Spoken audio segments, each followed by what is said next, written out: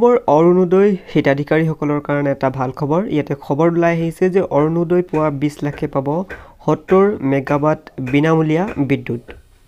দৈনিক জনমভূমিত দিয়া খবৰ অনুসৰি ৰাইজৰ বিছ লাখে অৰুণোদয় লাভ কৰা হিতাধিকাৰীয়ে প্ৰতিমাহে সাত মেগাৱাটকৈ বিদ্যুৎ বিনামূলীয়াকৈ লাভ কৰিব আৰু বিদ্যুৎ ৰেহাইৰ বাবদ ৰাজ্য চৰকাৰে দুশ পঞ্চাছ টকাকৈ হিতাধিকাৰীৰ একাউণ্টত জমা দিব আৰু তেওঁলোকে সত্তৰ মেগাৱাট বিদ্যুৎৰ মাচুল বিদ্যুৎ বিভাগক আদায় দিব লাগিব।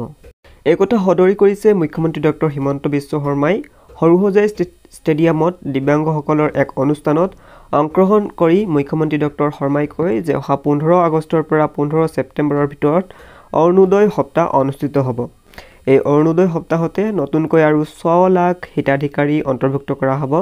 আগতে অৰুণোদয়ত অন্তৰ্ভুক্ত হিতাধিকাৰীৰ পৰা কিছুসংখ্যকৰ নাম কৰ্তন হ'ব আৰু সেই স্থানত নতুনকৈ অতিৰিক্ত হিতাধিকাৰীৰ নাম অন্তৰ্ভুক্ত কৰা হ'ব।